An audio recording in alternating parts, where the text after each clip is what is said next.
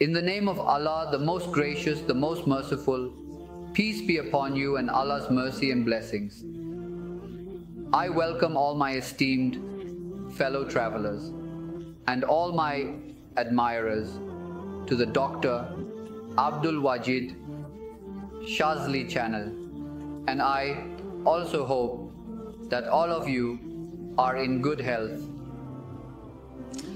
For the brightness of your eyes, if you wish, for your eyes to remain bright, or if you have an infection due to some disease in your eyes, your vision is diminishing, you see less, you have cataracts, your eyes remain red, or you have constant irritation in your eyes due to dust particles, or your vision is decreasing due to aging. For all these ailments, today I will provide you with a solution through just one verse from the Quran. Even if you have lost your vision but could see before.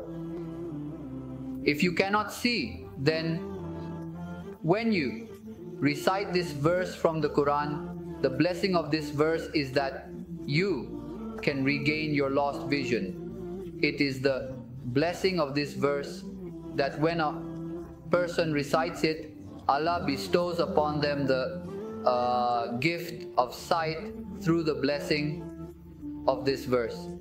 If a doctor has advised you to undergo surgery, if you have diabetes, if you have high blood pressure, if you have fear and anxiety in your heart and you wish to get out of this trouble, then immediately start reciting this verse from the Quran.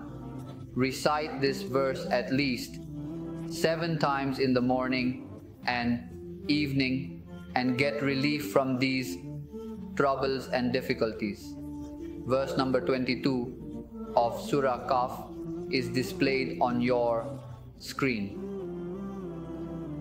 You need to recite this verse seven times in the morning and seven times in the evening. If a doctor has given you any medicine or eye drops, recite this verse seven times over the medicine and then use it in your eyes as prescribed by the doctor.